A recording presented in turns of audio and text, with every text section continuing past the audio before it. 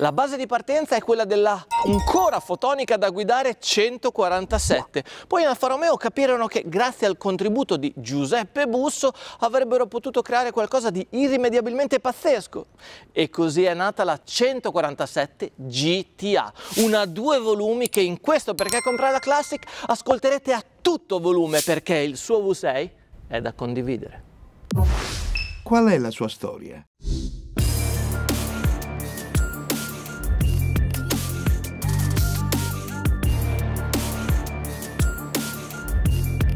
L'Alfa Romeo 147, progetto 937, arriva sul mercato italiano alla fine dell'anno 2000 e da subito il distacco dalle 145 e 146 che era stata chiamata a sostituire si fa galattico, grazie a uno stile riuscitissimo e a una dinamica di guida fenomenale. Poi però arriva la 147 GTA e allora non ce n'è più per nessuno. Siamo a Parigi al Mondial 2002 quando il motore 3002 V6 incontra una carrozzeria compatta che, grazie all'ennesimo e ultimo capolavoro dell'ingegnere Busso, si trasforma in una vera hot hatch tutta italiana.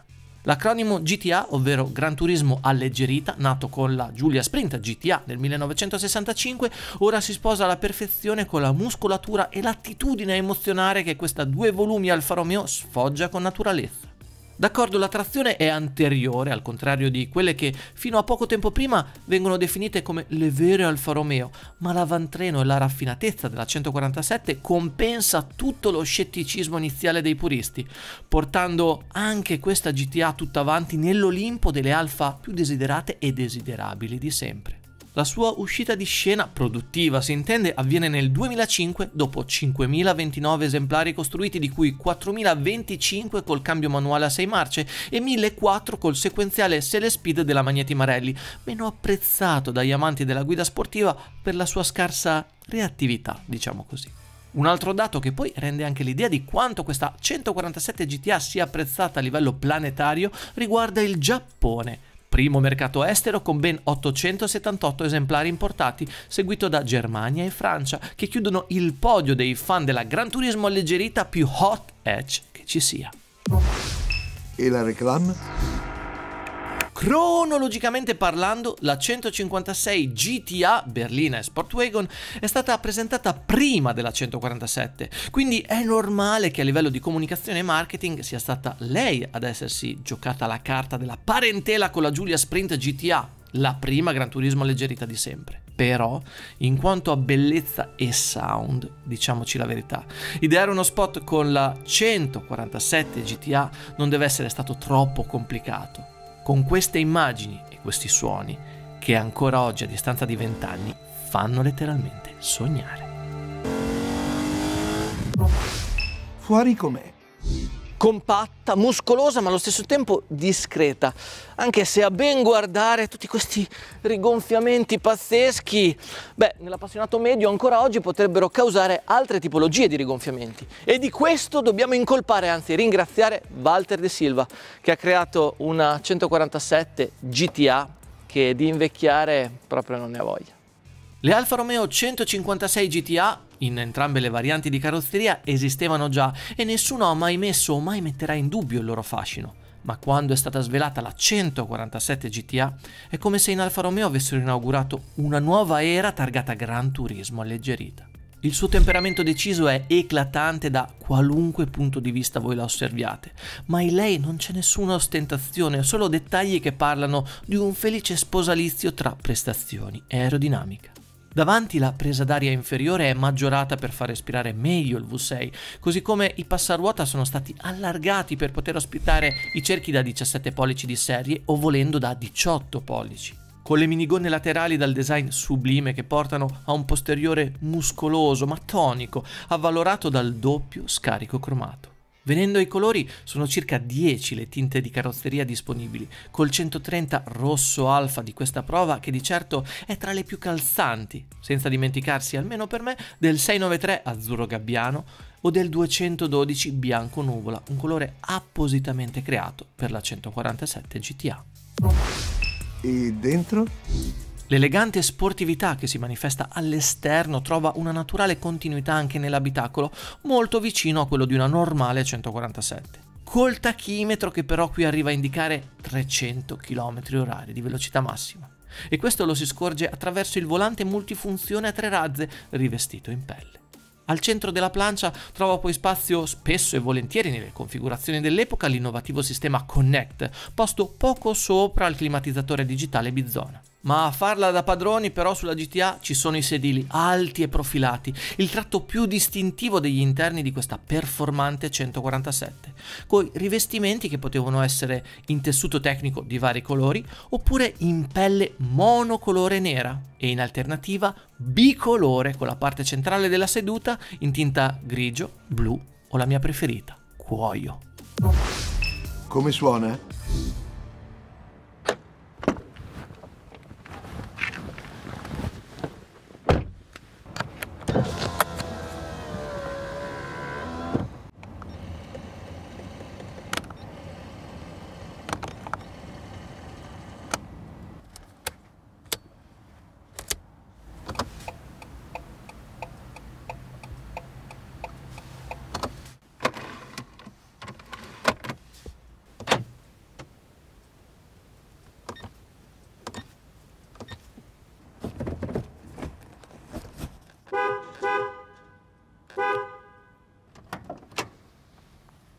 Caro Giuseppe, semplicemente grazie.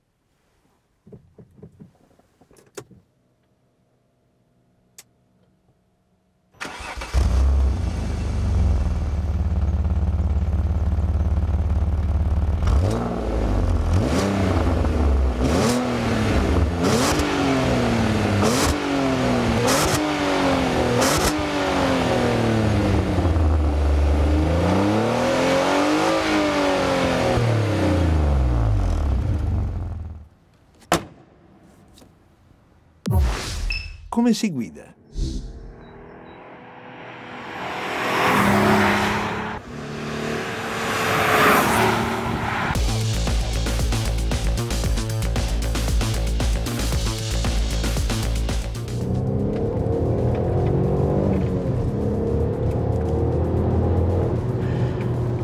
Io ormai al caso non credo più troppo, ma che ci crediate o no, circa 20 anni fa io ero in questa esatta posizione, su di una 147 GTA.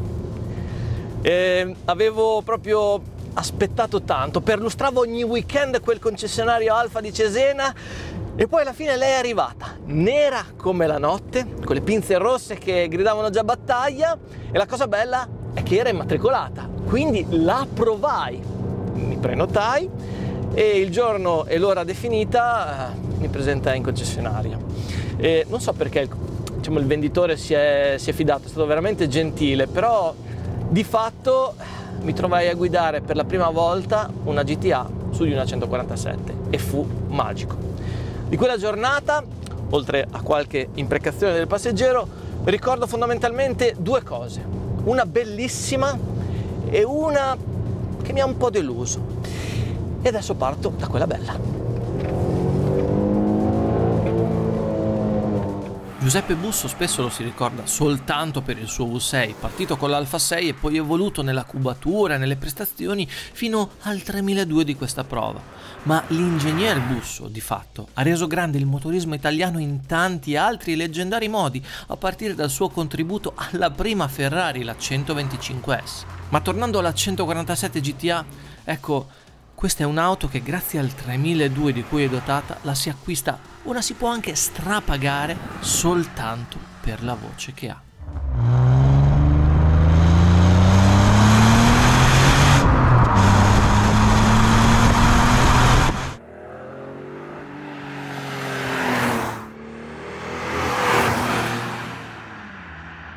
Niente variatore di fase o condotti di aspirazione e se la potenza e la coppia la potete leggere nella nostra scheda tecnica vi assicuro che in quanto ad anima non c'è numero che tenga, qui siamo già nel metaverso. Considerate poi che la 147 GTA pesa circa 1360 kg e questo significa circa 50 kg meno della 156, cioè ogni cavallo sulla 147 GTA si deve occupare di circa 5,5 kg. Ne conseguono una velocità massima di quasi 250 km/h, mentre lo 0-100 è coperto in 6,3 secondi.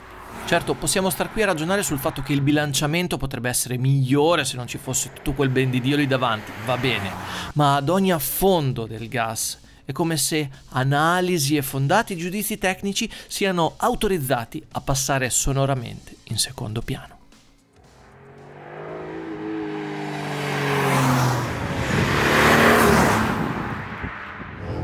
Torniamo alla seconda delle due cose che imparai quel giorno, quella che mi ha un po' deluso.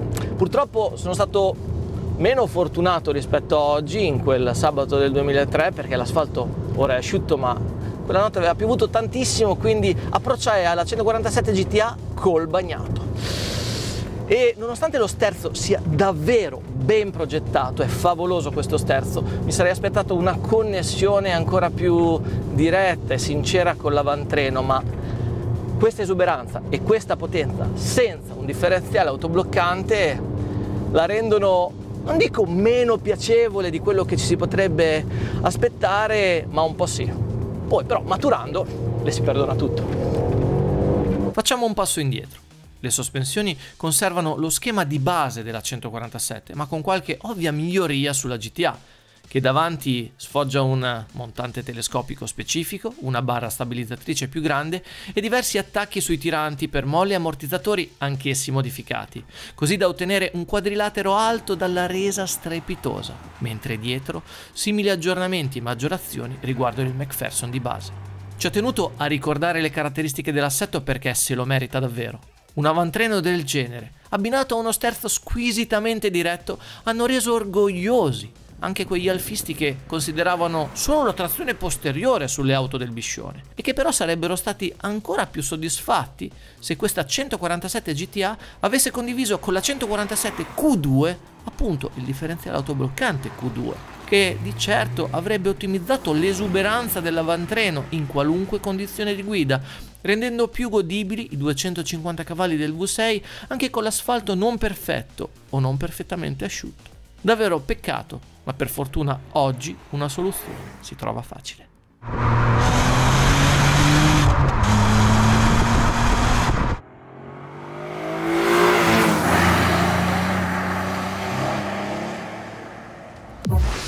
Punti deboli? In quanto a handling, penso che la mancanza di un autobloccante all'anteriore sia un punto che ho sufficientemente approfondito, a cui però qui aggiungo l'inadeguatezza del primo impianto frenante installato, con dischi da 305 mm, successivamente sostituiti con un sistema con dischi da 330 mm. E sempre rimanendo sull'avantreno, segnalo che il raggio di sterzata è imbarazzante per quanto è ampio. Per il resto, come riprodotto dalla targhetta identificativa punzonata al telaio, anche questa GTA rimane sotto sotto una Fiat, con tutte le simpatiche anomalie elettroniche o leggerezze qualitative dell'epoca, che però col V6 in azione si sentono decisamente di meno. Quanto costa? Un equipaggiamento completo e praticamente tutto di serie, inclusi controllo di trazione ASR e di stabilità VDC. Insomma, un'auto bella, sicura e veloce, un Alfa Romeo in tutto e per tutto, che 20 anni fa era offerta a un prezzo di poco superiore ai 33.000 euro. In pratica quello che in molti chiedono oggi. Dunque, fino a qualche anno fa, per delle 147 GTA usate, le richieste erano di poco superiori ai 10.000 euro. Ma con l'avvicinarsi dei 20 anni e la crescente stima in questa super 147, beh, ora le cose sono decisamente cambiate. Infatti, per una 147 GTA a meno di 20.000 euro dovete per forza ripiegare per quelle con cambio sele speed mentre per delle belle manuali si viaggia tra i 24 e i circa 30.000 euro con punte di richiesta anche superiori per esemplari come usciti dal concessionario.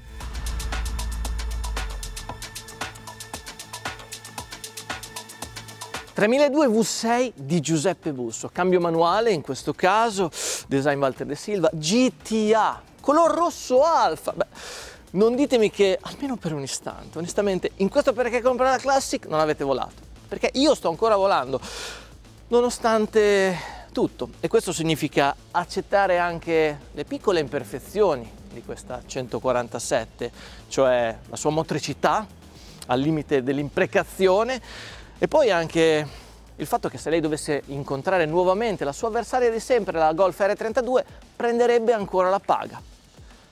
Senza contare che lei costa oggi e nel frattempo sono nate altre tuttavanti anche con la metà dei cilindri prestazionalmente più valide di lei? Forse. Ma no, questo non si fa perché una 147 GTA non si confronta con altro. E questo lo capirete scoprendo il suo vano motore quando verrete abbagliati dalla lucentezza di quei collettori. Ecco, in quel momento vi ricorderete che il vostro cuore rosso alfa tra le Otech batterà sempre per lei.